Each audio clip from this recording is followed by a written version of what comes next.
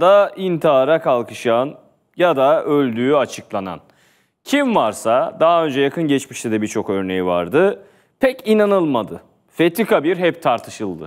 Bunun zirvesi ise Münevver Karabulut cinayetinde oldu efendim. Münevver Karabulut cinayeti sonrası Cem Gariboğlu hapishanede hayatını kaybetti, intihar etti şeklinde bilgiler çıkınca Türkiye'nin galiba %90'ı mümkün değil öyle bir şey dedi. İlk tepki bu oldu. Sonra gerek avukatının gerek diğer hukukçuların yani biz fotoğrafları gördük, savcılık gitti, e, orada tutanak tuttu, böyle bir şey yapamazlar.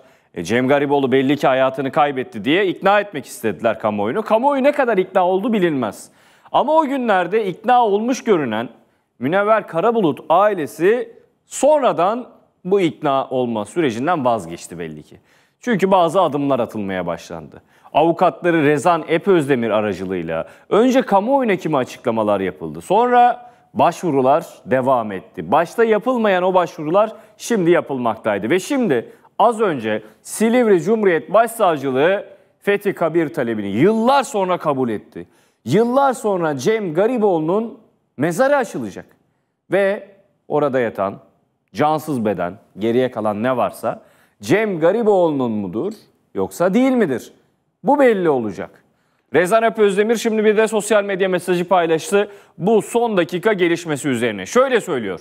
Yaklaşık 15 yıldır Münevver Karabulut'un hunharca ve vahşice katledilmesiyle ilgili dosyayı mağdur aile vekili olarak takip ediyoruz. Münevver Karabulut cinayeti Türkiye'de kadına şiddet ve kadın cinayetleri bakımından toplumsal farkındalık ve fikri takip oluşması açısından son derece önemli ve emsal mahiyette bir cinayettir. Bu kapsamda son olarak Cem Gariboğlu'nun mezarının açılarak CMK 87'ye 4 maddesi uyarınca Fethi Kabir işleminin yapılmasını talep etmiştik. Müvekkil Süreyya Karabulut yani Münevver Karabulut'un babası talebinin üzerine özellikle son iki yıldır bu konuda etkili bir hukuki süreci hayata geçirdik. İki yılın ardından gelinen noktada Silivri Cumhuriyet Başsavcılığı talebimizi kabul ederek Cem Gariboğlu'nun mezarının açılmasına ve Fethi Kabir işleminin yapılmasına karar verdi ve bu konuda Anadolu Cumhuriyet Başsavcılığına talimat yazıldı. Yıllardır gittiğimiz her yerde, gittiğimiz her yerde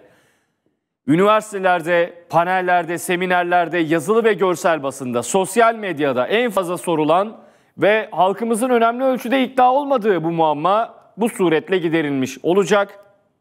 Başsavcılığın vermiş olduğu karar son derece önemli ve sevindiricidir.